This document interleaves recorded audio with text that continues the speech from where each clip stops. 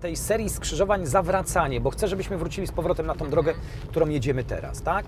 Ale popatrz, co tu jest. Tu mamy dwa skrzyżowania, czyli najpierw musimy zastosować się do nakazu. Tak. I ustąpić tym do jedynki teraz już. Wolniutko. Patrzymy, co z lewej. Zobacz, bo najpierw ustępujemy i to jest to pierwsze skrzyżowanie wymalowane na jezdni, a teraz wjeżdżamy na skrzyżowanie o ruchu okrężnym. Kierunkowskaz lewy, bo zawracamy. Na rondzie zawracamy. Lewy kierunkowskaz. Tak. I przy wyjeździe będziemy musieli włączyć prawy, ale skoro mamy pojechać tam, to musimy wjechać na ten pas do lewoskrętu i znowu włączyć lewy kierunkowskaz, ustąpić tym sprzeciwka. Nie wjeżdżamy na powierzchnię wyłączoną, tak i jechać. Nie bać się tego gazu. O.